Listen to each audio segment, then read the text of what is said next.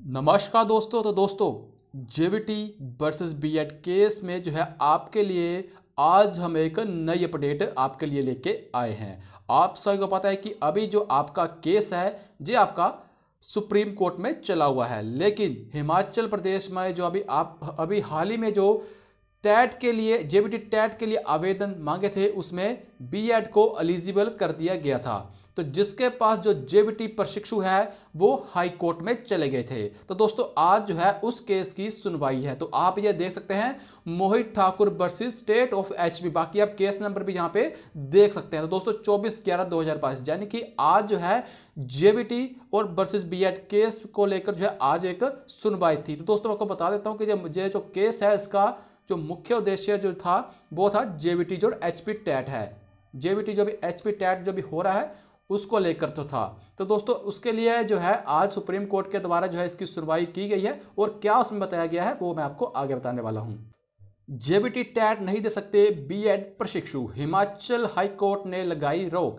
JBT TET में entry की सोच रहे बीएड प्रशिक्षुओं को हाई कोर्ट ने बड़ा झटका दिया है। गुरुवार को मामले की सुनवाई करते हुए उच्च न्यायालय ने बीएड उम्मीदवारों को जेबीटी टैट देने पर रोक लगा दी है। हाई कोर्ट में पैरवी करते समय यह दलील रखी गई थी कि जब जेबीटी बना बीएड केस सुप्रीम कोर्ट में चल रहा है तो वर्तमान में शिक्षा विभाग को जेबीटी टैट में नियम बदलने का की कोई आवश्यकता नहीं थी। साथ ही उन्होंने बताया कि जिस अधिसूचना को आधार बनाकर बीएड उम्मीदवार उम्मीदवार हिमाचल में जेबीटी कैडर में जगह बना रहे हैं, उस अधिसूचना को राजस्थान हाईकोर्ट द्वारा रद्द कर दिया था।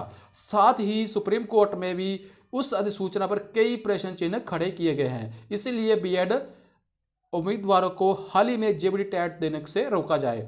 इन्हीं बातों को मद्देनजर रखते हुए कोर्ट ने जेबीटी का पक्ष लेते हुए यह निर्णय सुनाया।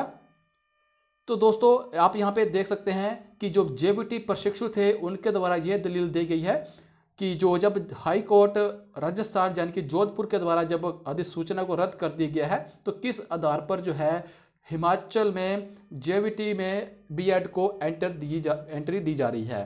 तो अभी जो है आपके लिए अपडेट यही है कि जो अभी अभी हाल ही में जो आवेदन मांगे थे जेबीटी टैट में टैट के लिए, वो अभी जो है उसमें बीएड को टैट देने से जो है रोक लगा दी है। तो दोस्तों, आपके लिए आज की अपडेट इतनी ही। जैसे ही हमारे पास कोई और इसके रिगार्डिंग इन्फॉर्मेशन आएगी तो आपको इस चैनल पे अपडेट ज़रूर दे दी जाएगी। अगर आप भी जेबीटी वर्सेस बीएड केस के बारे में अपडेट चाहते हैं तो आपके लिए वीडियो मैं तभी लाऊँगा अगर आप जो है नीचे कमेंट करेंगे। धन्यवाद फ्रेंड्स